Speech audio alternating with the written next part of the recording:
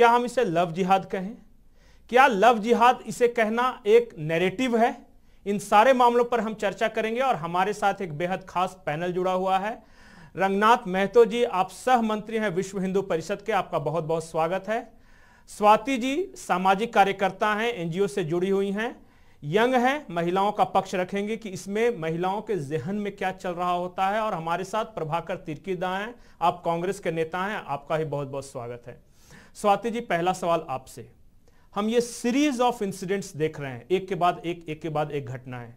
दरिंदगी की इंतहा है। कहीं मार कर पेड़ पर लटका दिया गया, कहीं कुएँ में धकेला गया, कहीं ज़िंदा जला दिया गया। जो पाकुड़ की थी नीलम यादव, वो किसी तरह उस, उन्हें भी ज़िंदा जलाने की कोशिश की गई, वो बचकर भाग आई हैं।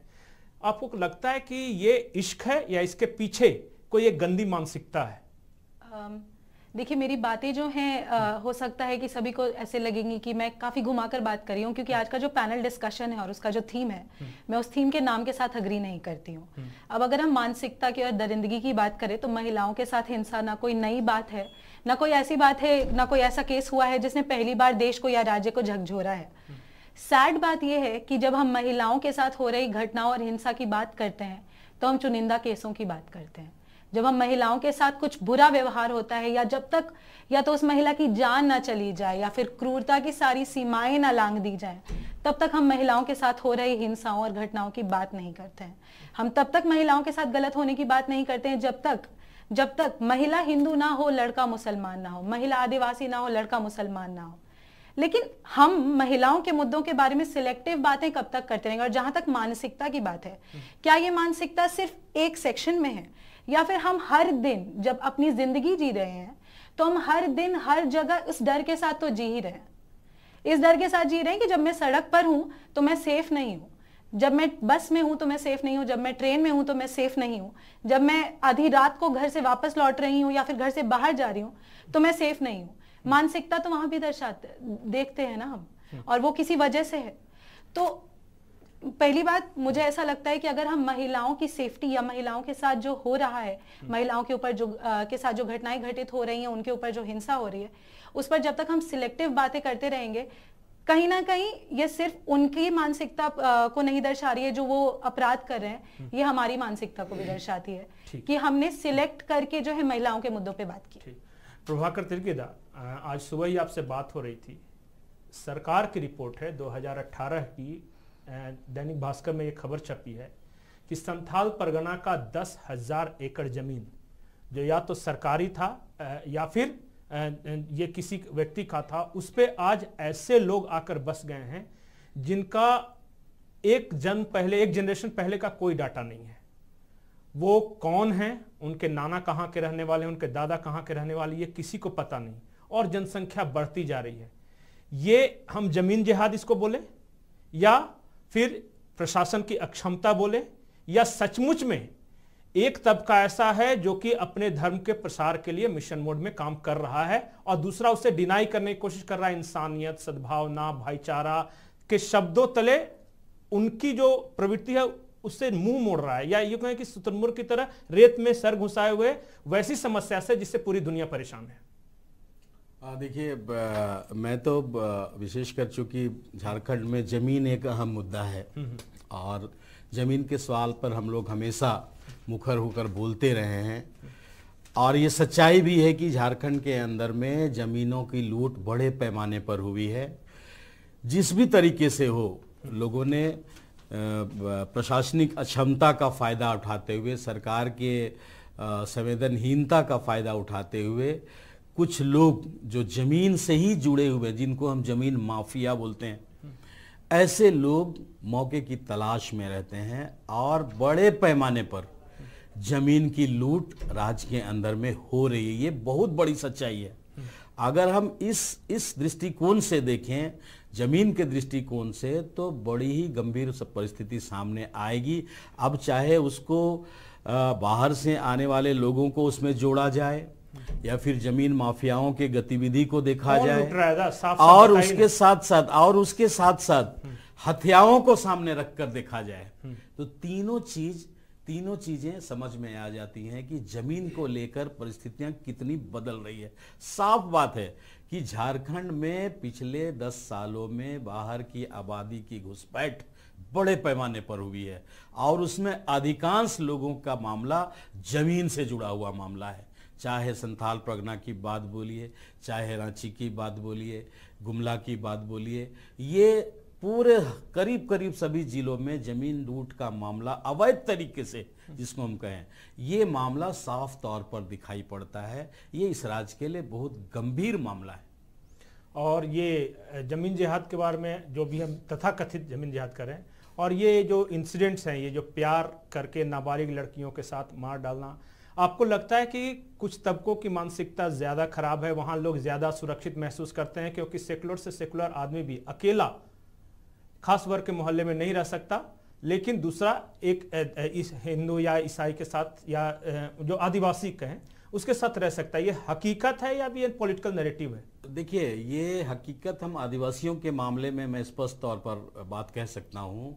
कि ये हकीकत है कई मामलों में हम लोगों ने देखा है कि आदिवासी लड़कियों को लोगों ने गलत तरीके से गुमराह करके फसला के उनके साथ शादी करके उसके पीछे भी उसके पीछे भी मोटिव यही है कि ज़मीन कैसे अपने हाथ में हथियाया जाए ऐसे कई सैकड़ों घटनाएँ मिलेंगी इस राज्य के अंदर में। तो ये भी एक बड़ी बात है कि लड़कियों के बहाने जबकि आदिवासी समाज में एक स्पष्ट है कि लड़कियों को अपने पुस्तैनी ज़मीन पर या अपने माता पिता के ज़मीन पर ज़मीन का अधिकार नहीं मिलना है। ये हमारे पूर्वजों ने बड़ी समझदारी से बनाई थी। और इस पर एक बड़ा डिबेट भी चलता रहता है कि क्यों नहीं महिलाओं को संपत्ति पर अधिकार मिलेगा। आदिवासी समाज का स्पष्ट मानना है कि महिलाओं पर संपत्ति महिलाओं को संपत्ति का अधिकार है लेकिन चूँकि वो शादी करके दूसरे घरों में चली जाती है वहाँ वहाँ की मालकिन वो बन जाती है। लेकिन अगर पैतृक संपत्ति में उसको हक मिलेगा और वो किसी तरीके से लोग उनको ट्रैप कर लेते हैं तो उस संपत्ति उनके हाथों से निकल जाता है। ये कई घटनाएँ हम लोगों ने देखा है। इसीलिए हम संपत्ति से जोड़कर देखना चाहते हैं इस बात को कि झारखंड में ऐसी घटनाएँ संपत्ति को ही लेकर, ज़मीन को ही लेकर घटती हैं। रंगनाथ जी, झारखंड में लव जिहाद है, ज़मीन जिहाद है, या आप लोग एक खास तरह का पॉलिटिकल नैरेटिव सेट करने की कोशिश कर रहे हैं? कुछ आपराधिक वारदातों को आप एक सांप्रदायिक रंग दे रहे हैं। ऐसा है पंकज जी। ये लव जिहाद जो शब्द है सर्वप्रथम केरल में 2009 में ये आया। ये शब्द कोई विश्व हिंदू परिषद बजरंग दल का या हिंदू संगठन का नहीं है बल्कि केरल हाईकोर्ट ने सर्वप्रथम यह लव जिहाद नामक शब्द का जी कोई शंकरन जी थे जज थे वो। जी, जी। और उन्होंने कहा कि ये धर्मांतरण के विषय पर मतलब धर्मांतरण करने के लिए यह लव जिहाद ही बहुत ही एक भोंडा तरीका है। लव जिहाद के माध्यम से उसको मुसलमान धर्म में परिवर्तित करना यह बहुत ही भोंडा तरीका है और यह शब्द जो है केरल हाईकोर्ट का है। ये हमारा नहीं है। लव जिहाद जो आप जान रहे हैं अभी पूरे देश भर में लगभग बीस हज़ार से ऊपर इस प्रकार की घटनाएँ घटती है। अपने झारखंड प्रांत में भी 117 मामले तो आए हैं डेढ़ साल में डेढ़ साल में डेढ़ साल में जो रजिस्टर्ड हुए 117 हैं। परंतु इससे अधिक मामले आते हैं जो कई मामले ऐसे हैं जो कि सामने नहीं आते हैं। इस प्रकार की घटनाएँ घटती है। अब इसको जैसे अभी स्वाति जी ने कह रहे थे कि भाई यह सिलेक्टिव किसी एक धर्म के लोगों को टारगेट करके केवल लव जिहाद के मामले पर ये न बोले बल्कि समुचित जो डोमेस्टिक वायलेंस से हाँ ये उत्पीड़न महिला उत्पीड़न पर आप कहना चाह रही थी कि कई जाति धर्म के लोग भी इस प्रकार के उत्पीड़न करते हैं। परंतु यह जो लव जिहाद है यह लव जिहाद का देखिए, तार कहाँ से जुड़ रहा है? बांग्लादेशी आतंकवादी संगठनों से जुड़ रहा है। और जिहाद अभी बता रहे थे प्रभाकर जी, बहुत अच्छा लगा। ये लैंड जिहाद जो चल रहा है यह अभी क्या है? आदिवासी लड़कियों को प्रेम जाल में फांसो। कैसे फांसो? तो नाम रखेगा टिंकू, चिंकू, कोई भी नाम, हिंदू दिखने जैसा नाम, सुनने जैसा नाम। और फिर उनसे प्रेम जाल में फंस कर फांसते हैं और फिर उसके जमीनों को हड़पते हैं। लोहरदगा में तो कलावा भी बांधता था। कलावा भी बांधता है हनुमान जी का लोकट भी धारण करते हैं। यही नहीं अभी जो चुनाव हुए हैं ऐसे चुनावों में भी जैसे कई मुस्लिम लोग जो इन्होंने आदिवासी लड़कियों से शादी किया है और उनको चुनाव लड़वाया है मुखिया का चुनाव जिला परिषद का चुनाव वार्ड पार्षद का चुनाव ऐसे चुनाव लड़के फिर एसटी रिज़र्व सीट से? जी जी जी एसटी रिज़र्व सीट से। एक तरफ़ वो इस्लाम उनको धर्म परिवर्तन कराया जाता है उनको इस्लाम बनाया जाता है दूसरे तरफ़ आदिवासियों का भी लाभ लेने के लिए फिर उनको चुनाव लड़वा कर विभिन्न सरकारी मदों को लूटने का काम करते हैं इन लोग। तो ये लव जिहाद केवल लव जिहाद नहीं है, ये लैंड जिहाद बड़े पैमाने पर अपने झारखंड में हो रहा है और जो घुसपैठ इसमें बांग्लादेशी, रोहिंग्या मुसलमानों का अड्डा झारखंड आज बना हुआ है और इसके पीछे कई आतंकवादी संगठनों का हाथ है। फंडिंग हो रहा है कि कैसे हिंदू लड़कियों को फंसाया जाए, कैसे उसको लव जिहाद में फंसा, फांस कर यहाँ के आदिवासियों के जमीनों को हड़पा जाए सरकारी फंडों को लूटा जाए ये बड़े पैमाने पर हो रहा है और यह झारखंड के लिए झारखंड के अस्तित्व के लिए ये बहुत खतरा है। आने वाले दिनों में अगर सरकार नहीं चेती तो बहुत बड़े इसके दुष्परिणाम होंगे गंभीर परिणाम स्वाति जी कुछ जवाब देना चाहेंगे? एक कई सारी बातें इन्होंने कही हैं अभी। आ, पहले तो काफ़ी देर से मेरे दिमाग में जो सवाल कौंध रहा है दोनों की बातें सुनने के बाद वो ये है कि अगर हम आदिवासी महिलाओं के परिपेक्ष से बात कर रहे हैं अगर हम इस बारे में बात कर रहे हैं कि आदिवासी महिलाओं के साथ क्या हो रहा है तो आखिर इस पैनल में कोई आदिवासी महिला क्यों नहीं है? क्योंकि मैं खुद एक आदिवासी महिला नहीं हूँ।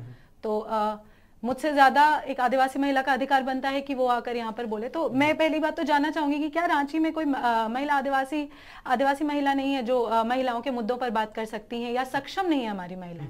पहला और दूसरा ये, जब हम बार बार ये बात कर रहे हैं कि हमारी लड़कियों के साथ ऐसा किया जा रहा है, हमारी लड़कियों के साथ वैसा किया जा रहा है, ये लड़कियों के साथ ऐसा क्यों हो रहा है? किनके द्वारा किया जा रहा है और क्या सिर्फ़ ये एक सेक्शन के द्वारा किया जा रहा है? हम किस बारे में बात कर रहे हैं यहाँ? क्या हम महिलाओं के ऊपर होने वाले वॉयलेंस की बात कर या हम हिंदू महिलाओं के ऊपर होने वाले वॉयलेंस जो मुस्लिम पुरुष कर रहे हैं अपनी आइडेंटिटी को चुराकर अगर हम इस नैरेटिव को फॉलो करें उसकी बात कर रहे हैं। मेरा सवाल ये है कि हम स्पेसिफिक मुद्दे पर क्यों बात कर रहे हैं? और जहाँ तक बात है लव जिहाद की अगर आ, मैंने पढ़ा आपने जो मुझे आ, ब्रीफ दिया था कि हाईकोर्ट केरला हाईकोर्ट की तरफ़ से ये कॉइन किया गया है बजरंग दल ने या बीजेपी ने नहीं किया। वैसे आ, जब सर ज़मीन जिहाद की बात कर रहे थे तो मेरे दिमाग में एक्चुअली अपनी आँखों से जो मैंने देखा है वो काफ़ी ज़ोर से कौन था कि मैंने सालों साल तक एक ऐसे घर में बीजेपी का झंडा लहराते हुए भी देखा है जिस घर की ज़मीन एक आदिवासी महिला की थी एक नॉन आदिवासी पुरुष ने उनसे शादी की। कुछ सालों के अंदर मैजिकली उस महिला की मृत्यु हो गई आग से जल के लेकिन आज के डेट में भी उस घर पे बीजेपी का झंडा जलता है। तो जब हम सिलेक्टिव ये की बात करते हैं और किसी को ये लगता है कि मैं टारगेट करके बीजेपी की तरफ़ या बजरंग दल की तरफ़ या किसी के मैं बोल रही हूँ नहीं मैं नहीं बोल रही हूँ। मुझे पता है सभी एक थाली के चट्टे बट्टे हैं। अगर हम जब महिलाओं के विरुद्ध हिंसा हो रही है और हम एक सेक्शन की बात कर रहे हैं तो मेरे लिए भी एज अ वुमन ये कहना बहुत ईजी हो जाएगा कि महिलाएँ कहीं बाहर नहीं जा सकती क्योंकि पुरुषों का घुसपैठ है। महिलाएँ कहीं सेफ़ नहीं फील करती हैं क्योंकि पुरुषों का घुसपैठ है। और मुझे इस बात से काफ़ी ज़्यादा नाराज़गी भी है और मैं ऐतराज जताती हूँ बहुत खुले तौर पे जताती हूँ कि ये मीडिया जिस जो आज लव जिहाद के बारे में बात कर रही है जो पॉलिटिशियंस आज लव जिहाद के बारे में बात कर रहे हैं वो कहाँ थे जब दुनिया पे और भारत में शैडो पैंडमिक चला है दो साल के लॉकडाउन में? जब हमारे यहाँ बच्चियों का विवाह जो है दो गुना तिगुना बढ़ गया। जब हमारे यहाँ घरेलू हिंसा की वारदात जो है दो गुना तिगुना बढ़ गया। लॉकडाउन के दौरान। जी हाँ लॉकडाउन के दौरान। यूनाइटेड नेशंस ने पैंडमिक को एक शैडो पैंडमिक कहा है क्योंकि महिलाओं के विरुद्ध हिंसा दो गुना तिगुना बढ़े हैं। लेकिन उस वक्त मीडिया खामोश क्यों रही और उस वक्त हमारी गवर्नमेंट खामोश क्यों रही? इसीलिए मेरा ये सवाल बार बार है कि हम सिलेक्टिवली बात क्यों कर रहे हैं? हम उन लड़कियों के बारे में भी बात क्यों नहीं कर रहे हैं जिन्हें जला दिया गया लेकिन कभी केस रजिस्टर नहीं किए गए? हम उन लड़कियों के बारे में क्यों नहीं बात कर रहे हैं जिन्हें मार दिया गया केस रजिस्टर नहीं किए गए? हम उन लड़कियों के बारे में क्यों नहीं बात कर रहे जिन्होंने जब अपनी मर्ज़ी से शादी की जब अपनी मर्ज़ी से शादी की तो उस कुएँ में धकेलने वाले उनके परिवार वाले थे। आ, उन्हें जलाकर मारने वाले उनके परिवार वाले थे या समाज वाले थे। और जब हम लव जिहाद का नैरेटिव बनाते हैं सर तो आपको एक और बात समझनी होगी कि कहीं ना कहीं हम महिलाओं से उनकी अभिव्यक्ति और उनके चॉइस का अधिकार छीनते हैं।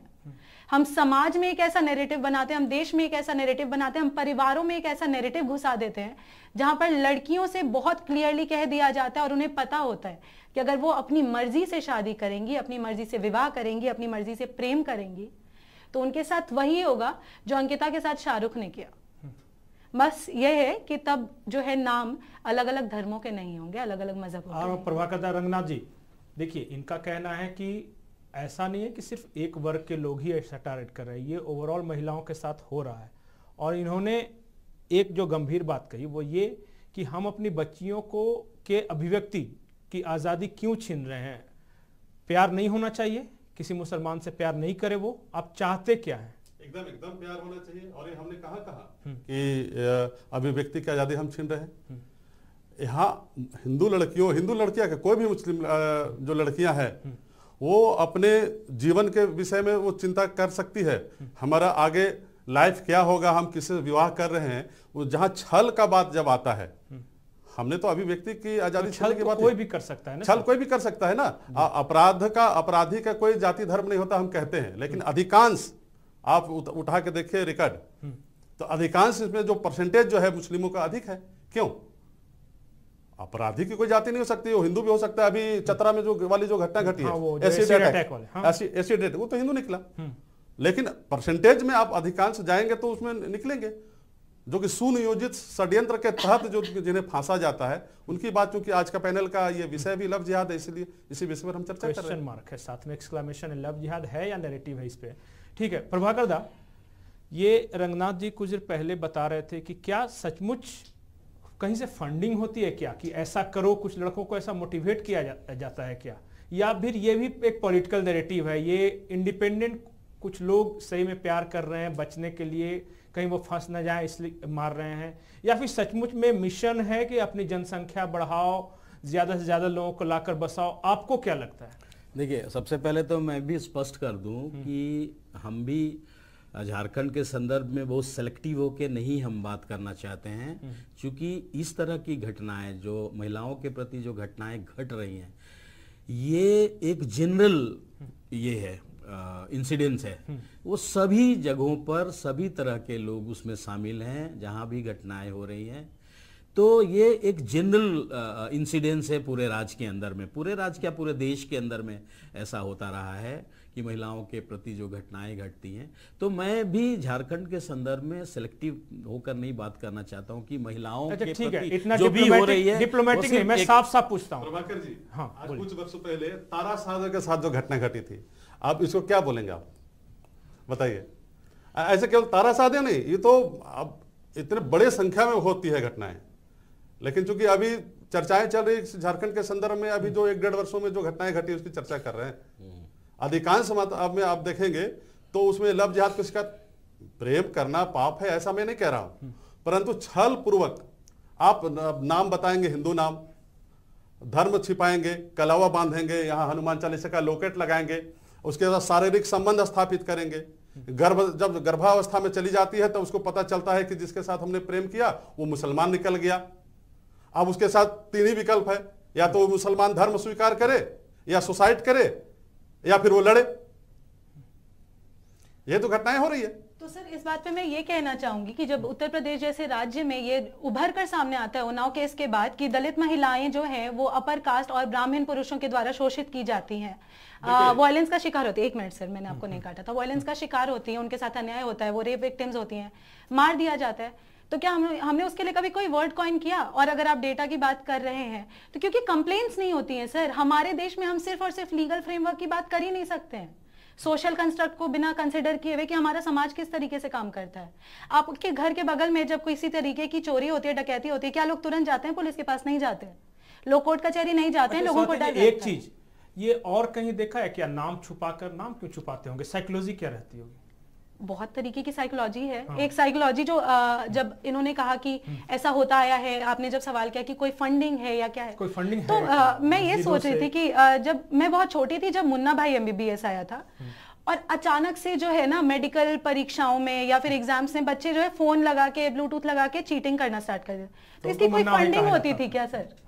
या जब क्रिश आया था तो बच्चे छतों से कूद रहे थे और ऐसे बहुत केसेस आ रहे थे। इसकी फंडिंग नहीं थी एक साइकोलॉजी बनती है। लोगों को समझ आने लगता है कि हम इस तरीके से भी क्राइम कर सकते हैं। और जहाँ तक मैं पुरुष के संदर्भ में बात करूँ तो साइकोलॉजी ये होती है कि शायद इस लड़की को फंसाना इस लड़की से प्यार करना मोहब्बत करना ज़्यादा आसान होगा अगर मैं इस नाम का प्रयोग करूँ तो। और क्योंकि ये चल रहा है ये कहीं सक्सेसफुल है मीडिया ने काफ़ी पॉपुलर कर दिया है तो शायद हम भी इसका फ़ायदा उठा सकते हैं। केसेस तो आप अगर आप चलिए मैं लव जिहाद के जो केसेस आपने बताए झारखंड में आ, मार्च से लेकर मई से लेकर सितंबर तक के आपने दिए हैं कुल अठारह। लेकिन क्या सिर्फ़ अठारह ही केसेस हुए होंगे सर? प्यार के नाम पर हत्याओं के। सिर्फ़ अठारह ही हुए होंगे? मुझे नहीं पता कितने हुए। Exactly exactly. हाँ। आधे ज़्यादा केसेस तो हमें पता नहीं होते ना और हम्म। जिन्हें हमें तवज्जो देकर नेरेटिव स्थापित करना है वो कर दिया मैं वापस से पहले सवाल में आऊँगी हम्म। कि जब हमें ये पता है कि आदिवासी महिलाओं के साथ दलित महिलाओं के साथ अपर कास्ट पुरुष हम्म। अपर कास्ट पुरुष जब उनका शोषण करते हैं और ये सदियों से चलता आ रहा है तो क्या हमारे पास कोई शब्द है इसके लिए नहीं बना ना कोई शब्द इसीलिए वो फिनोमिना गायब है इसीलिए हम उसे एड्रेस नहीं करते हैं लेकिन हमारे पॉलिटिक्स इंडियन पॉलिटिक्स के लिए ये शब्द बहुत ज़रूरी था तो इसलिए ये बना। और सिर्फ़ और सिर्फ़ पॉलिटिकल ही नहीं हमारा सामाजिक अत्याचार या फिर वगैरह कुछ शब्द है ना मतलब कि अपनी अपनी पार्टियों का अपना अपना शब्द है। देखिए हम्म। अगर जिहाद शब्द तो हमने कहा कहा? हमने तो कहा कि हाईकोर्ट का शब्द है केरल हाईकोर्ट का। और जिहाद केवल लव जिहाद ही नहीं है लैंड जिहाद बहुत जिहाद का अनेक प्रकार है। जिहाद का मतलब होता है कि अल्लाह के लिए लड़ना इस्लाम के लिए लड़ना अपने धर्म के लिए लड़ना वही जिहाद है। तो फिर हम इसे किस कॉन्टेक्स्ट में आज और आप जैसे जाति अभी क्या आप दलित उत्पीड़न क्या क्या आप बता रही थी आप सम, ये क्यों नहीं कहते हैं कि भाई सामान्य कोई भी हो जाति का नाम लेना क्या मतलब है?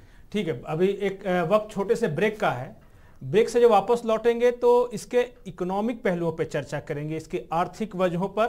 चाहे महिलाओं की समाज में स्थिति, क्योंकि हमने हमेशा देखा है कि या तो वो नाबालिग है या बहुत ज़्यादा गरीब है। उनके साथ ज़्यादा कुछ होता है, या फिर सचमुच कुछ ऐसा एक इकोनॉमिक पहलू, ये भी है कि सचमुच फंडिंग, मिशन, अपने धर्म का प्रसार, ये सब भी एक मकसद होता है। छोटा सा ब्रेक है, जल्द वापस लौटते हैं। ब्रेक के बाद आपका स्वागत है, हम चर्चा कर रहे हैं लव जिहाद है या सिर्फ़ एक पॉलिटिकल नैरेटिव है। और इन सारे प्रकरणों के बाद जो झारखंड में विपक्ष के विधायक दल के नेता हैं यानी बाबूलाल मरांडी जी पूर्व मुख्यमंत्री भी हैं। उनका इस सारे मामलों पर क्या कहना है? आइए सुनते हैं। झारखंड में लगातार महिलाओं के ऊपर अत्याचार बढ़ रहे हैं। एक नया ताज़ा तरीन मामला अभी खूटी से आया है। हमारे साथ पूर्व मुख्यमंत्री बाबूलाल मरांडी जी हैं। आइए उन्हीं से जानते हैं ये सारे मामले। सर एक नया मामला खूटी से लफ्ज याद का आया है। आपने ट्वीट करके भी इसकी जानकारी दी है। क्या है सर ये पूरा मामला? देखिए पूरा मामला तो मुझे लगता है कि वहाँ तक हम गए नहीं, हमारे यहाँ तक जितनी जो खबर आई है। कि एक समुदाय विशेष के लड़का ने एक लड़की के साथ है। जो सामान्य तौर पर होता है, प्यार से नहीं, अपने प्रेम जल में फंसाना, फिर शारीरिक संबंध बनाना, दुष्कर्म करना, और फिर जब गर्भवती बच्चे हो जाए और फिर शादी की दबाव डालना तो फिर उन्हें क्या कहते हैं, धर्म परिवर्तन के लिए दबाव डालना। तो ये बिल्कुल लगता है कि लब हो ही नहीं सकता है। जब इस प्रकार की जहाँ दबाव होता है इस प्रकार की जब समस्या सामने बातें आती है तो लगता है कि इसका मतलब एक बड़ी सोची समझी रणनीति के तहत इस प्रकार के काम हो रहे हैं देश के अंदर में। क्या लगता है सर आखिर किस कारण है कि ऐसा लगातार बढ़ते जा रहा है और सरकार मौन है इस सारे विषयों पर? नहीं लगातार बढ़ तो इसलिए जब अपराधियों को सरकार से कोई भय नहीं होता या उनको ये महसूस होता है कि सरकार हमें संरक्षण देगी प्रोटेक्शन देगी, हमारा कुछ नहीं होगा। तब फिर इस प्रकार की घटनाओं को लोग अंजाम देते और बेहिचक लोग अपराध करते हैं। तो झारखंड में कुल मिलाकर के दो वर्षों में, ढाई वर्षों में यही सब होते रहा। अगर शुरू के दिन आप देखें कोरोना काल में भी क्या हुआ, वर्ग विशेष के लोग हंगामा करते रहे, फिर उनको प्रोटेक्शन मिलती रही।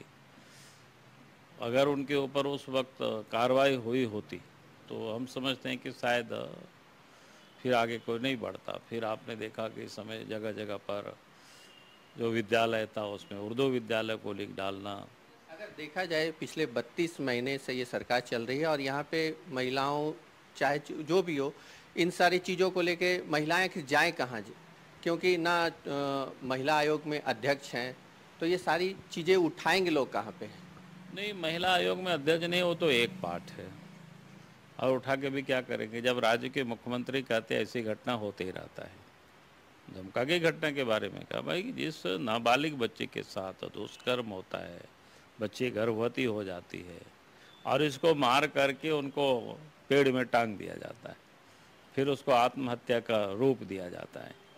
तो कुल मिलाकर के जब आप देखें तो फिर ये लगता है कि भाई जब राज्य के मुख्यमंत्री कहते हैं ऐसी घटना होती रहती है तो फिर महिला आयोग को क्या कर सकता है? महिला आयोग जैसे संस्थान भी तो उसी के मतहत काम करते हैं। बाबूलाल मरांडी जी जिनका कहना है कि इस सरकार को विदा करके ही इस तरह के मामलों से हम निजात पा सकते हैं। कैमरा पर्सन प्रशांत मित्रा के साथ संजय। तो झारखंड की स्थिति कुछ ऐसी है कि यहाँ रेप में पिछले डेढ़ सालों में 117 प्रतिशत की वृद्धि हुई है। हत्या में 112 प्रतिशत की। और बाकी जो अवैध खनन, किडनैपिंग, पैसा वसूली, रंगदारी, उसका कोई आंकड़ा नहीं है हमारे पास, इसलिए हम उसका नाम नहीं लेंगे। और जो एनसीआरबी के आंकड़े हैं, ये रेप, हत्या और महिलाओं का प्रति जो अत्याचार है, उसके बारे में बात की। लेकिन यही ऐसा राज्य है कि जहाँ महिला आयोग की अध्यक्षा तक नहीं, उनका गठन तक नहीं हुआ है। स्वाति जी, एक महिला के रूप में इसे आप सेंसिटिव मानती हैं? कि महिला आयोग होना चाहिए बाल संरक्षण आयोग होना चाहिए कोई है ही नहीं मतलब कि जाए तो जहाँ कहाँ जाए क्योंकि लोकल पुलिस के पास महिला थाने हैं एकमात्र वहीं पर केस रजिस्टर्ड होता है उसमें भी एफआईआर दर्ज करने में आनाकानी होती है कहा जाता है कि आप आवेदन दे दीजिए और चले जाइए क्योंकि जब हम एफआईआर दर्ज करेंगे तो फिर हमारी ज़िम्मेदारी बढ़ जाती है हमें जवाब भी देना होगा। जी। As an independent media person social worker के तौर पे पिछले एक साल से हम इसी आ, सवाल का जवाब ढूंढ रहे हैं कि आखिर कोई अध्यक्ष क्यों नहीं है महिला, महिला आयोग में हम्म। सरकार की तरफ़ से हर बार एक ही जवाब आया है कि क्योंकि अपोजिशन के लीडर नहीं है हमारे पास और अपोजिशन के लीडर के बिना जो है महिला आयोग की जो अध्यक्ष होंगी उन्हें हम चयनित नहीं कर सकते तो हमने नहीं चुना हमारी सरकार के लिए ये बिल्कुल ज़रूरी ही नहीं है हम्म। कि महिला आयोग की कोई अध्यक्षा होनी चाहिए पहला हम्म। और हमारे एक बहुत ही बड़े अपोजिशन के लीडर कहते हैं चलिए नहीं है तो नहीं है तो सरकार हो या ऑपोजिशन हो मुझे महिलाओं के लिए कंसर्न किसी के भी आँखों में और इंटेंशन में नज़र नहीं आ रहा। और राज्य हो या देश हो इस बात पे मैं श्री बाबूलाल मरानी जी के साथ बिल्कुल सहमत हूँ कि कोई डर भय ही नहीं है। रेपिस्ट्स के अंदर क्रिमिनल्स के अंदर कोई डर भय ही नहीं है। अगर आपके हिसाब से मुख्यमंत्री जी ने ये कहा है झारखंड के मुख्यमंत्री जी ने तो हमारे देश में इस देश का one of the most gruesome incident उसके रेपिस्ट और कन्विक्ट्स को आज़ादी के पचहत्तरवे अमृत महोत्सव में आज़ादी के दिन छोड़ दिया जाता है रिलीज़ कर दिया जाता है। बात कर रहे हैं। जी।, जी। और उन रेपिस्ट्स को उन मर्डरर्स को हमारा समाज फूल माला पहनाकर तालियाँ बजाकर स्वागत करता है। तो क्यों होगा इस देश में और इस राज्य में किसी को भी डर? डर तो महिलाओं को ही लगेगा। कोई वजह नहीं है हमारे पास। रंगनाथ जी बहुत ये सेंसिटिव सवाल है कि जब रेपिस्ट को जेल से छोड़ा जाएगा आज़ादी के दिन और उनको फूल महिलाओं से फूल मालाओं से स्वागत किया जाएगा तो फिर तो हो चुका है इस देश में महिला कल्याण देखिए सरकार को ऐसी घटनाओं को रोकने के लिए हम्म। एकदम कड़ी से कड़ी दंड मिले अपराधियों को ऐसे कानून को लाना पड़ेगा हमको पिछले वर्षों में जाते हैं हम्म। तो सोलहवीं शताब्दी में हमको याद है कि शिवाजी महाराज के समय एक गुज्जर पाटिल नामक एक अपराधी हुआ करता था। वो शिवंता नामक लड़की को रेप और बलात् मतलब रेप और फिर मर्डर किया था। उसको शिवाजी महाराज ने क्या सजा दिया? उन्होंने चौराहे पर चौराहे पर उनके दोनों हाथ काट दिया। मतलब दोनों पैर काट दिया, दिया जाए चा, क्या चाह रहे दोनों आँखें निकाल दी गई पत्थर फेंका जाए और लोगों को यह कहा गया परसों एक मिनट हाँ। और लोगों को यह कहा गया कि आते जाते हम्म। इनको थूक कर जाए मेरा कहने का मतलब वही सजा ना हो। कि वैसा हो परंतु सख्त से सख्त सजा हो कानून संवैधानिक दृष्टिकोण से फांसी की सजा हो कुछ जो कानूनी जो दांव पेचे हैं जिससे अपराधी बचते हैं वैसे जो जो कमियाँ हैं हमारे संविधान में उन कमियों को दूर कर अच्छा कानून लाया जाए ताकि जो अपराधी है उनको सजा मिले। लेकिन सर दांव पेच तो हमारी सरकारें अपराधियों को रिहा करती है क्योंकि सरकारी आ, सेंट्रल लेवल पे जो है रेप कन्विक्ट्स को रेप जिन्होंने कमिट किया है उन्हें बेल देना अलाउड ही नहीं है। अंडर एनी सर्कमस्टांसेस लेकिन हमारी सरकारें क्योंकि इंडिपेंडेंस डे आज़ादी के आज़ादी दिवस मनाने के लिए जो स्पेशल बेल्स ग्रांट करती है उनमें हमारी सरकारें रेपिस्ट को और मर्डरर्स को रिहा करती है। तो कॉन्स्टिट्यूशन कितना भी स्ट्रांग हो जाए कानून कितना भी स्ट्रांग हो जाए सरकार के स्तर पर जो है जो सरकार के स्तर पर निर्णयधारी पर्सन है जो निर्णय ले रहे हैं जब वो खुद ही इन दाव पेचों को मर्डरर्स और रेपिस्ट को रिहा करने में इस्तेमाल कर रहे हैं तो हमारी उम्मीदें किन से रहेंगी? देखिए प्रभाकर जी, नियत ही सही नहीं है। जो टॉप पे बैठा हुआ है ना, उसकी नियत ही सही नहीं है। वो अपने लाभ, हानि, वोट बैंक को देखकर, अपनी ताकत की उससे मुझे फ़ायदा है, इस आधार पे वो निर्णय ले रहा है। वो पंच परमेश्वर नहीं है। उसे इससे कोई मतलब नहीं कि क्या सही है या क्या गलत। उससे इससे मतलब है कि मेरा क्या फ़ायदा है, क्या नुकसान। ये हर जगह हम देख रहे हैं। मैं झारखंड की बात करूँ तो यह आरोप लगते रहे कि रांची में जो दंगाई था, उसको तो स्पेशल एयर एंबुलेंस से भेजा गया मैदानता में इलाज कराने के लिए। लेकिन दो दिन तक सदर अस्पताल दुमका में वो बच्ची तड़पती रही, जलन के मारे। पंखा तक नहीं था वहाँ, लोगों ने चंदा करके पंखा किया। उसके बाद उसको रांची लाया तो यहाँ रांची में भी चूँकि जो बर्न वार्ड होता है, उसमें एक एसी होना ज़रूरी है, क्योंकि बहुत अंदर से जलता है। वहाँ भी एसी खराब था, वहाँ भी पंखा किया गया। इतने दिन तक मीडिया का कवरेज होता रहा, लेकिन सरकार की ओर से न बयान आया और न उसे बचाने की कोई पहल की गई।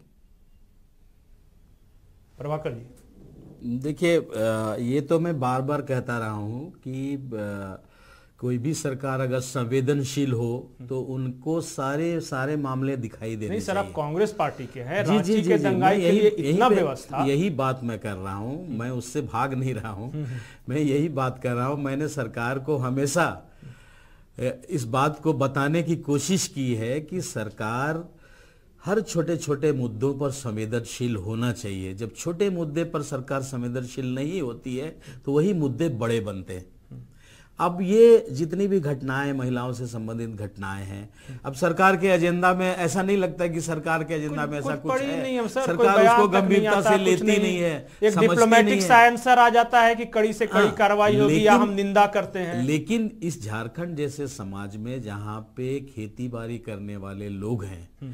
वहाँ महिलाओं का बहुत बड़ा योगदान है पूरे समाज को चलाने में। हम्म। हम लोग हमेशा कहते रहे हैं कि घर के काम से लेके समाज के काम तक और तमाम रीति रिवाजों को मेंटेन दो तिहाई आबादी महिलाओं की होती है। और झारखंड के तो दो तिहाई काम को संभालते हैं। जी बिल्कुल परिवार चलाने के बच्चे के पालन से लेके खेती बाड़ी से लेके और संस्कृति और सभ्यता की रक्षा से लेके बिल्कुल।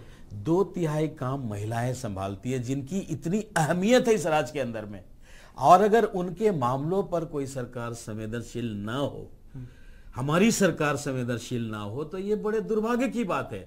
इसका असर कहाँ पड़ रहा है? इसका अदर पूरे आर्थिक व्यवस्था पर पड़ता है। यही मैं रंगनाथ जी से ये पूछ रहा था कि रंगनाथ जी, सारे इंसिडेंट को देख लीजिए। आप दुमका की जो बच्ची थी, भले उसकी उम्र चौदह साल की थी, पर वो मजदूरी करके अपना परिवार चला रही थी। एक और बच्ची, जिन, जिनके बारे में नाम नहीं लेना उचित नहीं होगा, लेकिन जिन्हें जला दिया गया, वो भी ट्यूशन करके अपने परिवार का पालन पोषण कर रही थी। छोटी छोटी बच्चियाँ यहाँ, जो कि अभी उनके पढ़ने की उम्र है, लेकिन कुछ आर्थिक स्थिति ऐसी है, और खास करके यहाँ की अर्थव्यवस्था में महिलाओं के योगदान को तो नकारा ही नहीं जा सकता।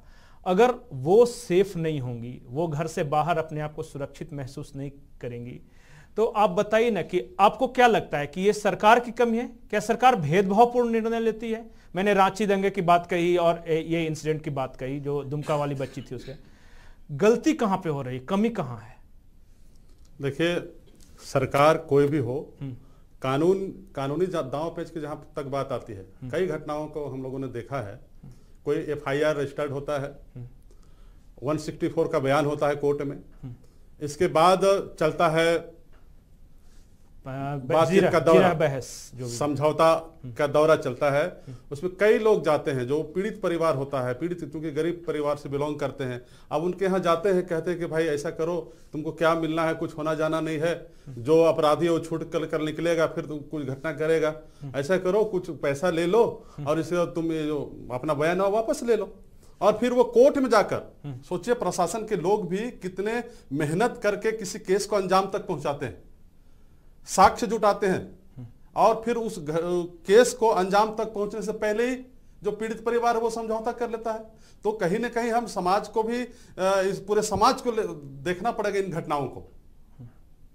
कि इस प्रकार का समझौता न हो, उस परिवार में अगर कोई तकलीफ़ हो, दुख हो तो पूरे समाज के लोग जाएँ और उस परिवार को मदद करें, सहयोग करें, हिम्मत बंधाएँ, तब जाकर वो कहीं अपराधी को सजा मिल पाएगा।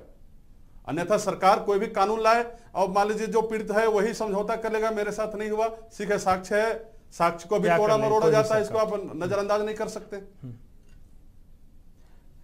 स्वाति जी यही मामला है कि कुछ मामले जो हाईलाइट हो जाते हैं वो तो उनके चांसेस होते हैं कि वो अंजाम तक पहुँचे हो सकता है उनमें सजा का भी ऐलान हो। लेकिन अनगिनत ऐसे मामले जिसमें तरह तरह के दबाव होते हैं पुलिस स्टेशन में भी ये काम होता है जो ये आप कोर्ट में कह रहे हैं ना पुलिस स्टेशन में एक बच्ची जाती है वो गरीब रही तो सीधे उसको भगा दिया जाएगा। एक गार्जियन कंप्लेन करने गया तुम्हारी बच्ची भाग गई होगी। ये कॉमन हम सुनते हैं।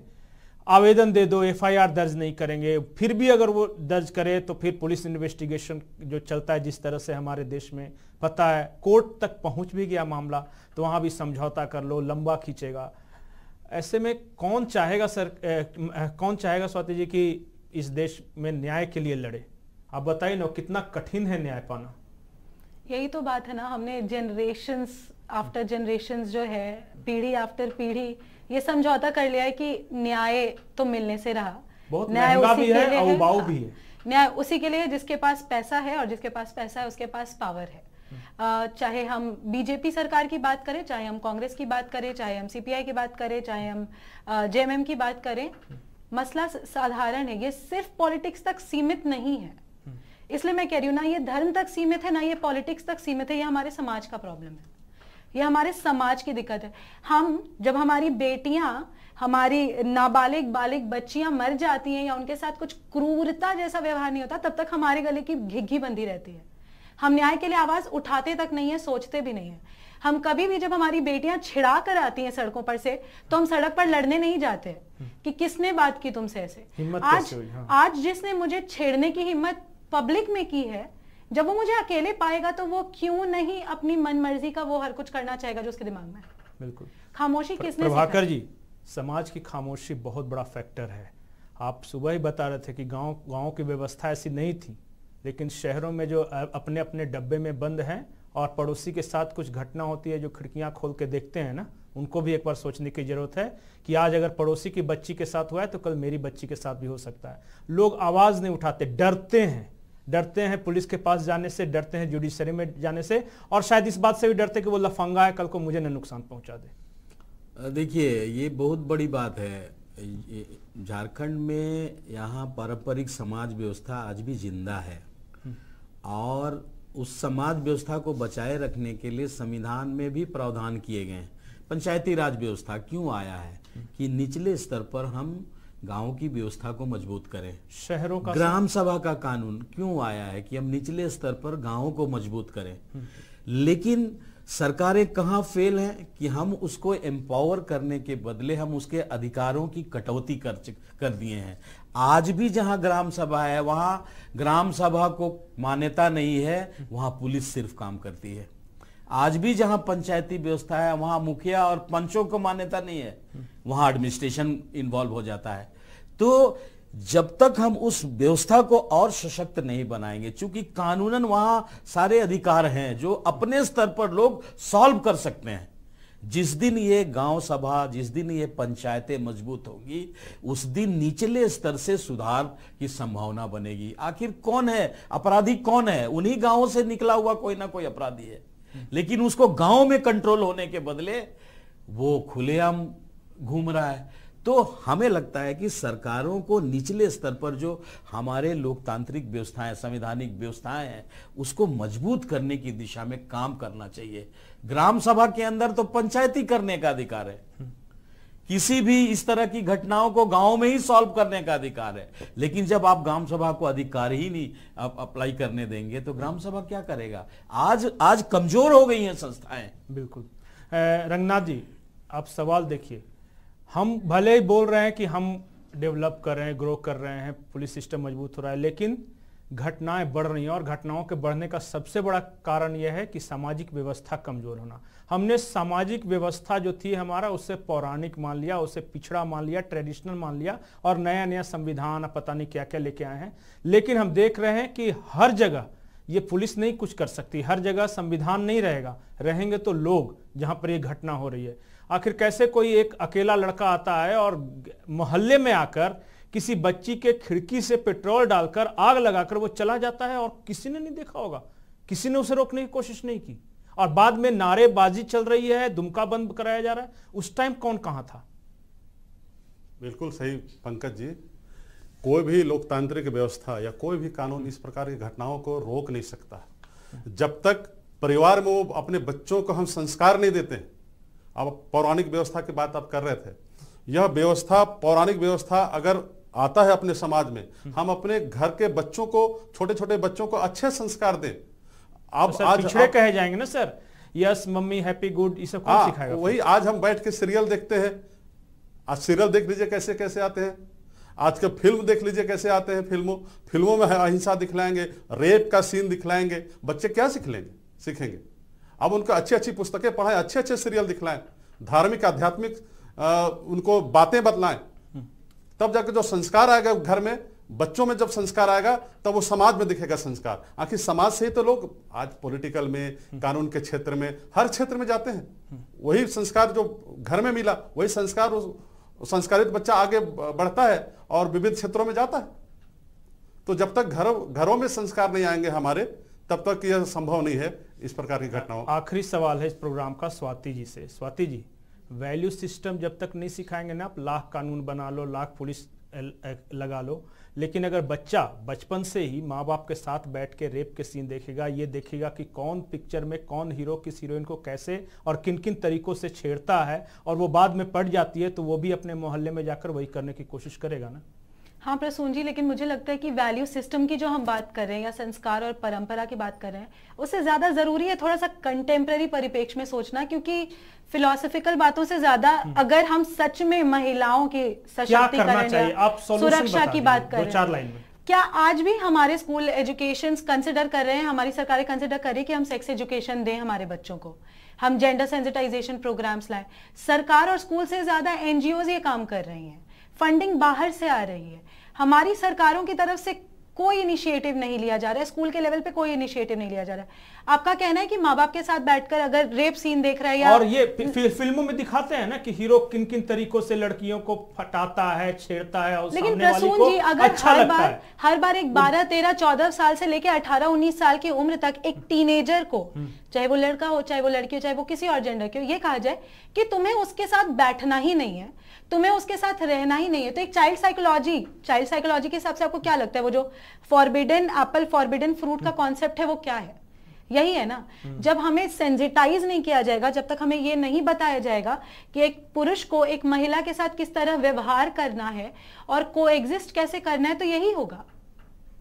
और बच्चे दरअसल नहीं देखते हैं माँ बाप के साथ बैठकर लव सीन्स हम्म। और रेप सीन्स कॉन्डम तक कार्ड आता है तो माँ बाप टीवी के चैनल बदल देते हैं या फिर बच्चों को कहते हैं जाओ एक गिलास पानी लेकर आ जाओ। हम्म। और ये मैं इसलिए बता रही हूँ क्योंकि मेरे जनरेशन से लेके मुझसे पहले के जनरेशन से लेके मेरे बाद तक यही हो रहा है। हम्म।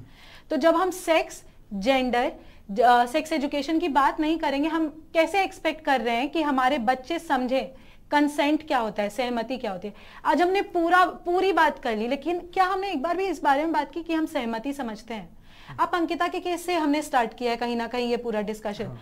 फेसबुक पे किसी ने जब पोस्ट डाला तो किसी लड़के का कमेंट था कि आ, अंकिता और शाहरुख की तस्वीर के साथ लेकिन शायद ये रिश्ते तस्वीरें शेयर करके साबित करने की कोशिश कर रहे थे वो नॉर्मल सी तस्वीर थी। मेरा ये कहना है अगर रिलेशनशिप में भी थे तो आग लगाना आप आग लगाकर तो, किसी को मार मारने के कॉन्वर्सेशन में वो आया कैसे? हम्म। क्यों? क्योंकि वो लड़का जिसने ये कमिट नहीं किया अभी तक अपराध हम्म।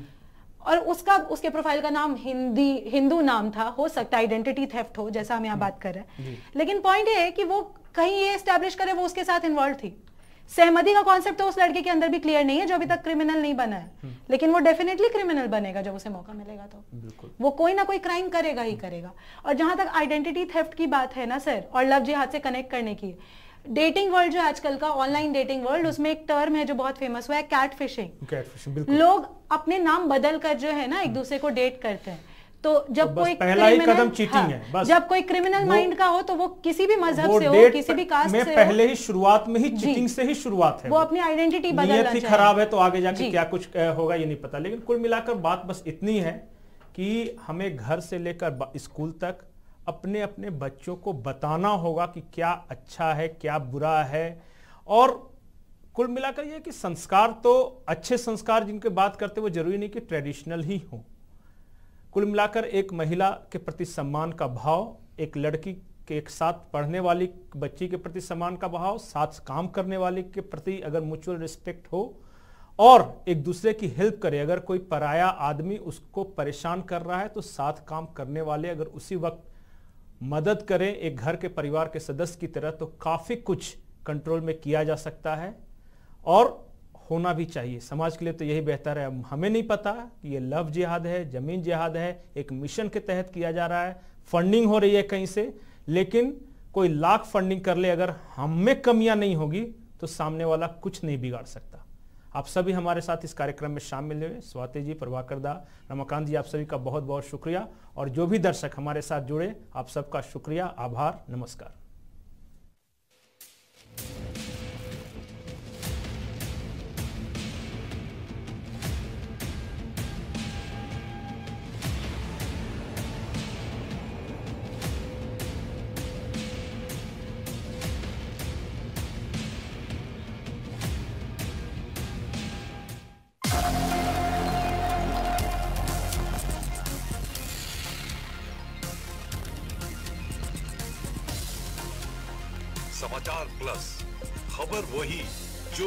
समाचार प्लस